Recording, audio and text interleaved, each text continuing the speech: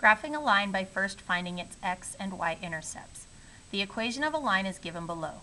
2x minus 3y equals 12. Find the x-intercept and the y-intercept, then use them to graph the line.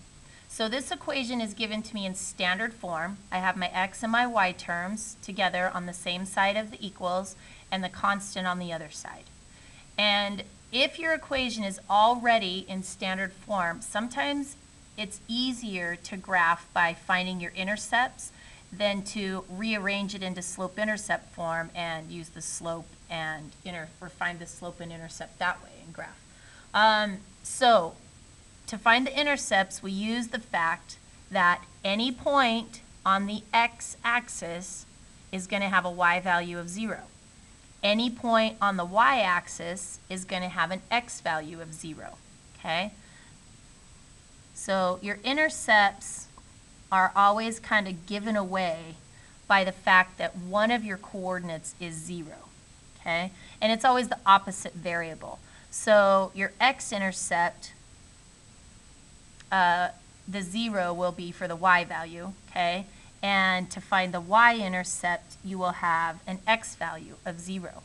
So I'm going to look at this equation now, and if I want to find the x-intercept, or the point where I cross the x-axis, I'm going to zero out or ignore my y term. Okay, so just like kind of pretend that that term isn't even there. And if I ignore the y term, I'm left with 2x equals 12. Okay? 2x equals 12.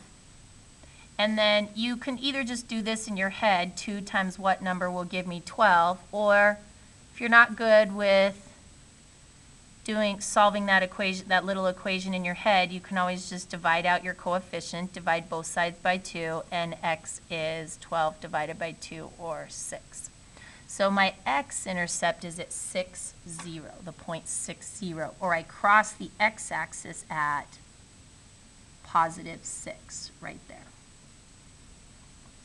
uh, now let's get the y-intercept so we're going to zero out or ignore the opposite variable okay so I'm going to ignore my x term.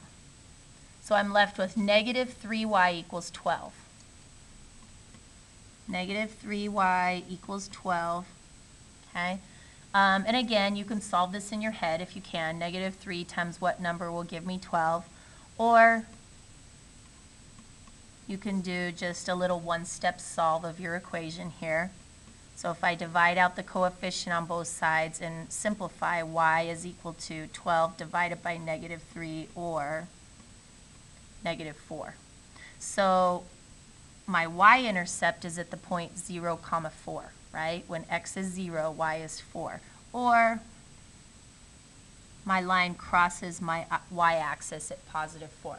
Once you have those two dots, you can just line them up and